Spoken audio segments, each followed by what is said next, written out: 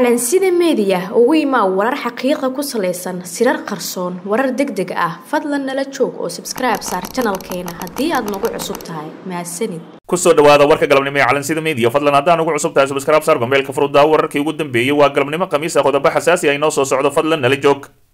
Xog culus fahad yaasiin miyaa sheekh shariif sheekh axmed iibsaday ama iibsan kara warar baraha bulshada lagu faafiyay ayaa sheegaya in fahad yaasiin uu gebi ahaanba iibsaday sheekh shariif sheekh axmed madaxweynihii hore soomaaliya.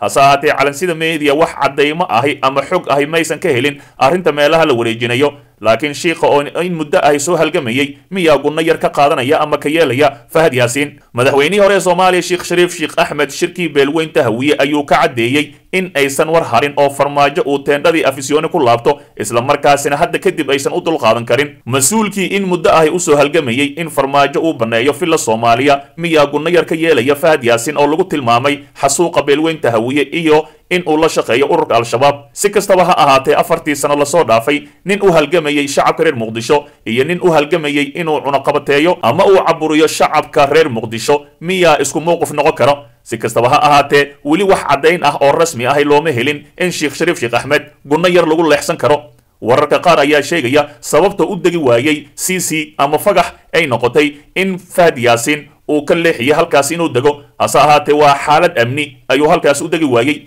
sidoo kale sheekh shariif sheekh axmed oo ka guuray aagga garoonka diyaaradaha muqdisho xarun cusubna ka samaystay asigoo ka ag dhowaaday muuse suude yalaxow iyo saaxiibkiis xasan sheekh maxamuud. Madaxweynihii hore soomaaliya ahna guddoomiyaha midowda musharaxiinta sheekh shariif sheekh axmed ayaa ka guuray xaruntii degmada wadajir ee aagga garoonka diyaaradaha muqdisho. Sheekh shariif isagoo ay galbinayaan gaadiidka dagaalka ayuu u guuray degmada cabdicasiis gaar ahaan agagaarka mirinaayada oo xarun u ah senator muuse suude yalaxow dhowaana uu halkaasi degay madaxweynihii hore soomaaliya xildhibaan xasan sheekh maxamuud. Sheekh shariif sheekh axmed ayaa la filayay inuu dego degmooyinka yaakshid ama kaaraan gaar ahaan agagaarka deegaanka c c laakiin waxaa la sheegay in farsamo ahaan ay suuragal noqon weyday arrintaasi. Musharax sheekh shariif sheekh axmed asiga ayaa dooqa iska leh waxa uuna ku qasbanaaday in uu ka ag dhowaado saaxiibadiisa oo halkaasi difaac culus kaga jiro laakiin fagax iyo cici gacanta dowladda inta badan kuma hayso. Arrintaani ayaa qayb ka ah qorshaha ay musharaxiinta madaxweynaha ugu guurayaan. Agagaarka garoonka diyaaradaha muqdisho kadib falkii muddo kororsiga ee uu ku dhaqaaqay madaxweynaha wakhtigiisa dhammaaday maxamed cabdilaahi farmaajo taasoo soo xidhantay doorashadii la filayey inay dalka ka dhacdo. Musharaxiinta oo ka soo jeeda beelaha muqdisho ayaa wada dhaqdhaqaaqyo ciidan iyo diyaargarow ay ku wajahayaan muddo kororsiga farmaajo oo laba sano ku darsaday inuu xukunka iska sii joogo waxaana xaafadaha muqdisho laga dareemayaa xaalad aad u cakiran. Madaxweynihii in muddo ah u soo halgamayey shacabka reer muqdisho miyaa ka yeelaya gunno yar uu siiyo fahad yaasiin oo aan marnaba la arkaynin islamarkaasina aashuun ku addama. Si kastaba ha ahaatee calansida meediya waxa ay beeninaysaa in la iibsan karo madaxweynihii hore soomaaliya sheekh shariif sheekh axmed fadlan dib u daaw wararkeenii hore ee calansida meediya mawduucan aniga ma qaba in loo kala saaro hirshabeelle iyo galmudug waa waa waa isa saaran yahay labadooduna hadda ilaa xad waa isku mowqif marka si gooniya ma qaba in loogu saara in in aan focuska u kala saarnay waxaan qabaa in because duruufahoodana waa isku mid mawaaqiftooda ay ka taagan ay ka taagan yihiin marxaladaha hadda taaganay siyaasadeed oo dalka ku xeeraysanna waa waa isku mid. Marka aniga waxay la tahay sida hordhac uu ahayba nimankan deegaanadan historically sidaan ka warqabno mar kasta horta waxaa loo dhisaayey si aan madax bannaanayn si cambaign ku dhisan oo qofka madaxda ah dalka markaas ka ah uu rabo in ay doorashadiisa gacan ka geystaan inuu soo noqdo. Mar kastana si deg deg ah oo aanan dadka lagala tashan ayaa loo dhisayey. Sidii loo dhisay two thousand fifteenkii ama galmudug iyo two thousand seventeenkii meesha la yidhaahdo hirshabeelle ama two thousand sixteenkii hirshabeelle labadaba sidii loo dhisay waa ka warqabnay. Problemka haystana wuxuu yahay meel kasta waxa la yidhaha center of power jira.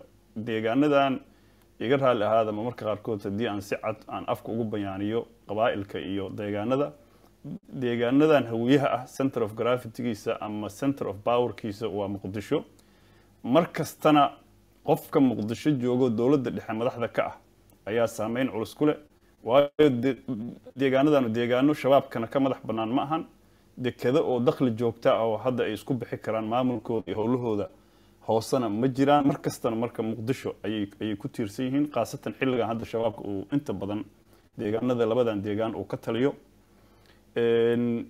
Dadka la soo xulaayana mar kasta loyality a lagu soo xulaa ama in ay yani ay raalli ka yihiin ama ay taageersan yihiin ama gacan ay ka geysan karaan soo noqoshada iyo qofka meesha markaas jooga in uu bawarka sii hay karo ayaa lagu dhisaa. Labadaana laguma dhisin kuwaan marka hadda cali guudlaawe iyo ninka la yihahdo qoorqoor labadaba waa la soo imbos gareeyey farmaajo keenay meel mugdiya lagu keenay ayagana waxay rabaan masayrkii dadka dadka iyo deegaankan meel mugdiya farmaajo ugu seexaan. Waa niman garala war farmaajo waa jabay. Haba jabee xitaa ma joogo yaasiin waa dhaafay jinaasuu jooga. Meel aad ugu ceeb qaran kartiin lama arko raacda reeb iyo dhabar jebin intaan la egna ma samayn kartiin. Dadka deegaanada aad ka soo jeediin ii sheegeen maxaan ku dhahaa ka soo jeedana marnaba boqolkiiba sagaashan iyo sagaal in ka badan farmaajo waa ka soo jeedaan. Marka dilema haysata kow waaqica jira oo ninkan sharciyaddii inay ka dhammaatay adduunkiina soo jeestay. Dadka deegaankanuna ay muddo dheer farmaajo ay dood iyo eedba ka qabeen xilligiisu markuu joogay isagana dul qaadanayeen oo mar kastana la dhahayo waxaan yaa hurin meeshaan ay joogto meel ka xun yaa la geynin. Ninkaan waqtigiisa lagu simo. Iyo ayaga rabitaankooda ayaysan iswaafaji karin. Marka waa niman aan aaminsanahay ilaa xad waxaan dhihi karaa marmar qaarkood wareedhe maxagara ku jirto? Fadlan dib u daaw wararkeenii hore ee calansida mediya xog xasaasiya sababta ay qorqor iyo cali guudlaabe uga maqnaayeen shirkii beelweynta hawiye xildhibaan odawaa oo weerar culus ku qaaday. Madaxweynaha galmudug axmed cabdikaari qorqor war lagu kalsoon yahay oo ay heshay warbaahinta ayaa sheegaysa sababta rasmiga ah ee madaxweynayaasha maamulada galmudug iyo hirshabeelle cali cabdulaahi xuseen guudlaabe iyo axmed cabdikaari qoorqor uga baaqdeen shirkii beelaha hawiye oo la filayay inay ugu dhawaaqaan mowqifkooda ku aadan muddo kororsiga madaxweynaha wakhtigiisa dhammaaday farmaajo. Sida aan xogta ku helnay qoorqoor iyo guudlaabe ayaa xubnaha mucaaradka ahi u sheegay in ay dib uga laaban doonaan deegaanadooda islamarkaasina ay kulamo la qaadan doonaan baarlamaanka golaha wasiirada iyo ururada bulshada rayidka ahi. Islamarkaasina ay kadib caddayn doonaan mowqifkooda ku aadan arrinta muddo kororsiga. Xogta aan helnay ayaa tilmaamaysa in labadani madaxweyne ay u sheegeen mucaaradka in ay soo saari doonaan war-saxaafadeed wadajir ah islamarkaasina aysan ka qaybgeli karin shirkii aya katashiga hawiye iyagoo aan wada tashiyo la samaynin maamuladooda wararka ayaa intaasi ku daraya in xubnaha mucaaradka ah ay ku qanceen hadalka labada madaxweyne islamarkaasina ay ka qabaan rajo wanaagsan in ay helaan mowqifkooda ku aadan arrimaha doorashada soomaaliya.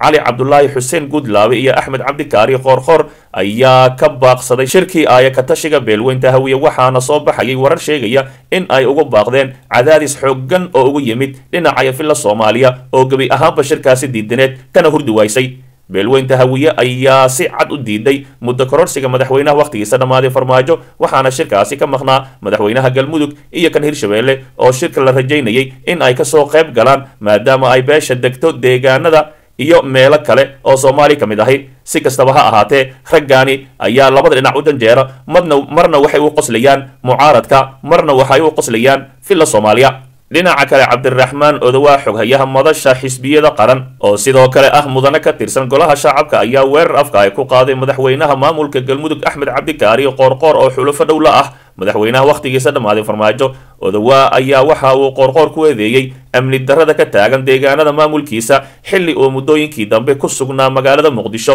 oo uu sheegay inuu u joogo meelmarinta muddo kororsiga sharci darrada ahi ee madaxweynaha wakhtigiisa dhammaaday farmaajo. Farmaajo masiibada uu dalkani u horseeday kuma sinna inuu duminayo dowladii federaalka ahayd ee labaatan sano la soo dhisayey balse wuxuu sidoo kale duminayaa dowlad goboleedyadii dalka madaxda maamul goboleedyada uu isagu dhisay farmaajo kuraasta u boobay ayaa dhowr bilood waxay iska fadhiyaan xamar iyagoo aan wax war ahay ka haynin. Dadkooda iyo deegaanadooda ayuu yidhi xildhibaan odawaa qoorqoor xamar ayuu iska dhex fadhiyaa sidii uu madaxweynaha wakhtigiisa dhammaaday farmaajo u qanci lahaa. Deegaanadiisana shabaab ayaa soo wada qabsanaya. Maalmihii la soo dhaafay shabaab waxay qabsadeen degmada bacaadweyne oo ahayd magaalo muddo dhan keligeed difaac ku jirtay. Sidoo kale deegaanada sinna dhaqso iyo labi dulle oo ku yaalla duleedka koofureed ee caasimada galmudug ee dhuusamareeb madaxweynaha galmudugna wuxuu xamar u joogaa inuu farmaajo kala shaqeeyo. Muddo kororsi sharci darro ahi waana sababta markii horeba loo geeyey galmudug xildhibaan odawaa ayaa madaxweynaha galmudug ku canaantay dayaca mas'uuliyadiisa maadaama uusan gacan ku haynin amniga deegaanadiisa balse taas beddelkeeda uu ku howlan yahay ka shaqaynta damaca ninkii geystay galmudug. Sida uu sheegay madaxweynaha galmudug ayaa ka mid ah maamulada saddexda ahi ee daabacsan. Madaxweynaha wakhtigiisa dhammaaday farmaajo kuwaasi oo uu doorashadooda ku bixiyay dhaqaalo badan halka kuwo qaarkoodna uu u daadiyey. Dhiig aan la mahadin xaaladda dalka ayaa ka sii dartay tan iyo markii uu golaha shacabka meel mariyey qaraar uu muddo kororsi ugu sameeyey madaxweynaha wakhtigiisu dhammaaday iyo hay'adaha dowladda kaasi oo ay si adag uga hor yimaadeen mucaaradka dhaqanka iyo maamulada puntland iyo jubbaland sidoo kale beesha caalamka. Madaxweynaha wakhtigiisa dhammaaday farmaajo xaaladda ayaa ku cakiran